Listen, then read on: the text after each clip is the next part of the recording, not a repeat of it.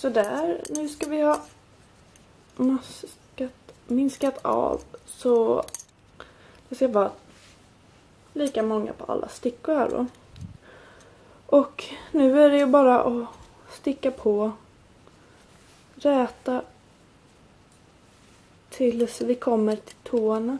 För min del så kommer jag sticka ungefär mellan 13 och 14 centimeter från hälen innan jag börjar sticka på tårna då.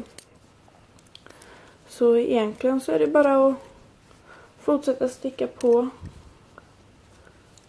tills ni känner att fotdelen är tillräckligt lång så återkommer vi sen hur vi ska göra hälen i nästa klipp helt enkelt. Så bara sticka på.